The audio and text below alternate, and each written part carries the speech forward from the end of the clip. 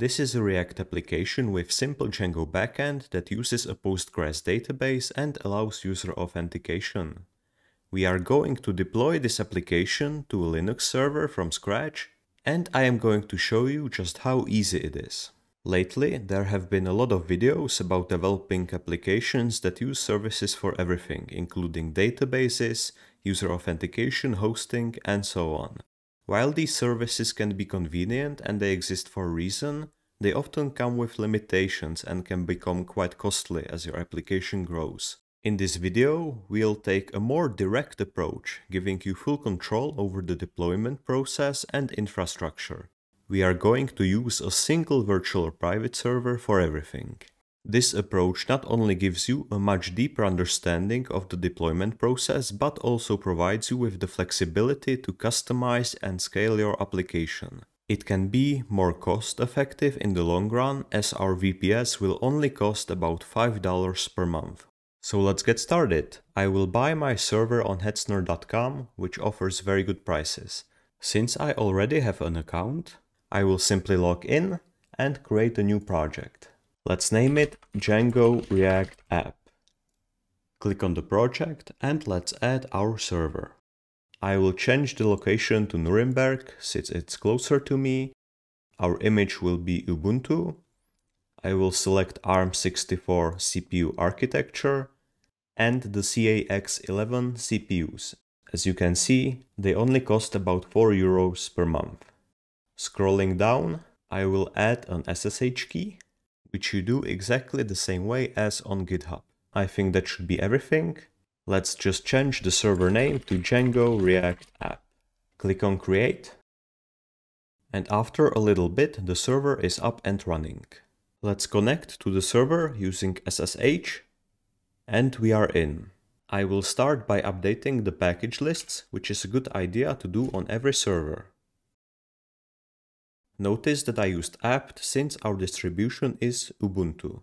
I will also install GCC, Python 3-dev and Python 3.12-venv, which will be used when creating our virtual environment.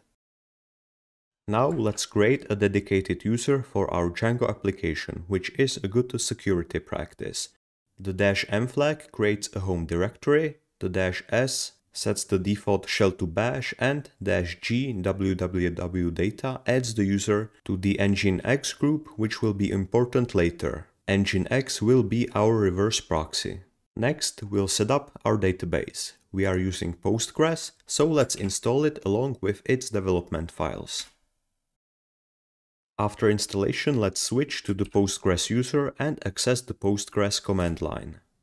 In here, we can create a user, and a database that will be used for our application. Exit by Ctrl Z and let's set up our project. First I'll switch to the Django user and I'll change directory to home. Let's adjust the home directory permissions using change mode 711, which will make sure that everyone can read the directory, but only owner has full access. This will be important since Nginx will be accessing the directory later. Let's clone the project, which you can find in the description. And this works since the project is public. But if your project is private, it is a good idea to use a git access token. Let's create a virtual environment using this command and let's activate it. Notice that the virtual environment is in the home folder but not in the project folder, but this is a standard practice. Now we can install the project dependencies using this command. Let's edit .rc to automatically cd to home and activate the virtual environment every time we switch to the Django user. Ctrl O to save and Ctrl X to exit. We can test this by logging out and in. The next thing to do is to set up the environment variables, so let's cd into the project and copy .env.example to .env. I will open it in Nano and in here, I'll set debug to false. I will add my domain to allowed hosts. And I will disable the last setting since we shouldn't need it. If this is your first time deploying, I would suggest that you set debug to true because it can give you some useful error messages. but in this case it is not necessary since everything should be working out of the box. Also, if you don't have a dedicated domain, you can add the IP address of the server into allowed hosts and access the application that way. Let's Ctrl O and Ctrl X, go into backend and run database migrations using python manage.py migrate. Let's also collect static files using collect static, and these files will be served using Nginx. Our application is now ready and we need to actually run it. Instead of doing that ourselves, we will use uWSGI, which will be an interface between our application and the Nginx reverse proxy server. Let's go into the home directory and install uWSGI using this command.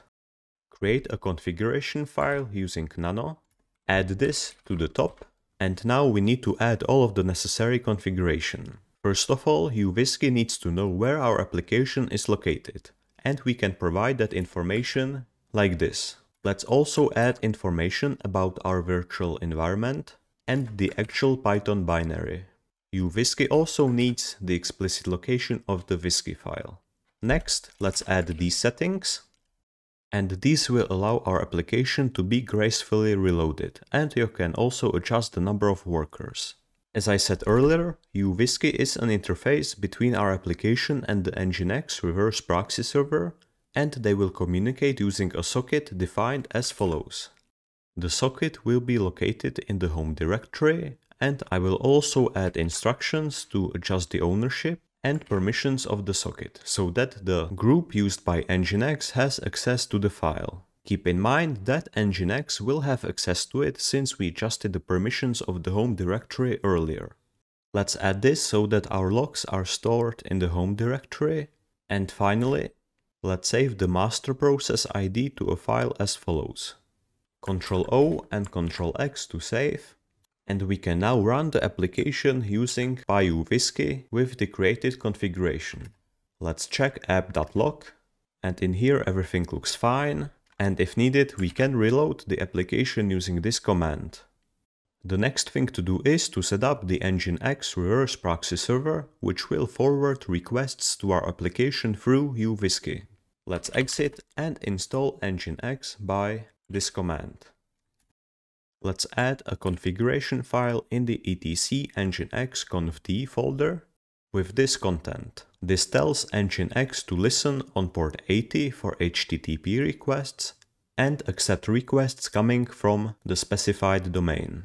The location block describes how Nginx has to communicate with uWSGI and the most important setting is the uWSGI pass, which references the socket specified in the uWSGI configuration. Finally, we want Nginx to serve the static files and that is taken care of by the last location block. Ctrl O and Ctrl X to save, and we can test the configuration by running nginx-t. To activate this, let's restart nginx like this, and the app is now available at the specified domain. This works since my domain is pointing to the IP address of the server. The last thing I want to do is to make our application use HTTPS and this is actually quite easy. We will use certbot according to the documentation. Let's select Nginx and Ubuntu. And even though the Ubuntu version doesn't match, it should work just fine. They require snapd, so let's install it like this. And we can now follow along. Let's run the commands And finally, let's run certbot with Nginx. And after filling in some information and selecting our domain, we can check the Nginx configuration and we can see that certbot has modified it to use HTTPS. If we head over to the application, we can see that it is using a secure connection. Let's quickly test it now. So I will create an account and after doing that, I can log in. So the database as well as our Django backend is working correctly. And there you have it. We have successfully deployed a React Django application to a Linux server. We have covered the basic steps like setting up the database, the project, uWSGI and Nginx. As you have seen, deploying to a Linux server can be straightforward if you know what to do. This method gives you full control, which can be flexible and cost effective as you scale. It's important to note that this was not an in-depth guide on Django application deployment and there is much more to explore. If you would like a more comprehensive guide or if you have any questions, don't hesitate to ask in the comments and thank you for watching.